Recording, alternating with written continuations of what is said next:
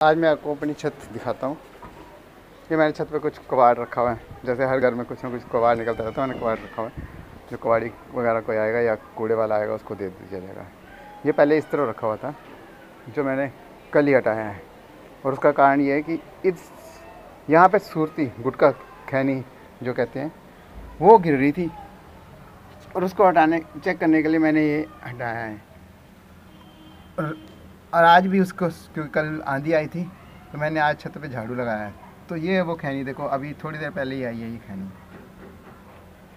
अब आप समझ सकते होंगे कहाँ से आई। मैं तो खाता नहीं हूँ।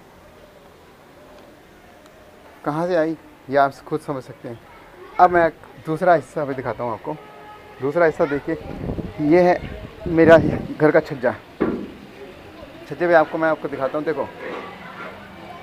ये गुटका खाया हुआ। गुटका खाया हुआ आपके निशान देख रहे होंगे। ये दीवार पे।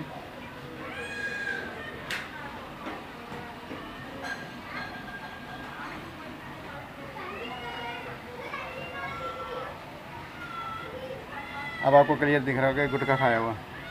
गुटका थूका हुआ है यहाँ पे। और इसके निशान ये ये जा रहे हैं।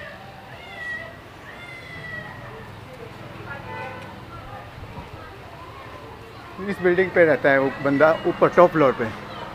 गुटका खाता है, ऊपर से थूकता है। रात को साढ़े बारह बजे, एक बजे करीब आता है दारू पी के। गुटका गुटका को खाने की उसकी आदत है और इस बिल्डिंग से थूकता है। और आपको मैंने दो वीडियो दिखा दिया आज।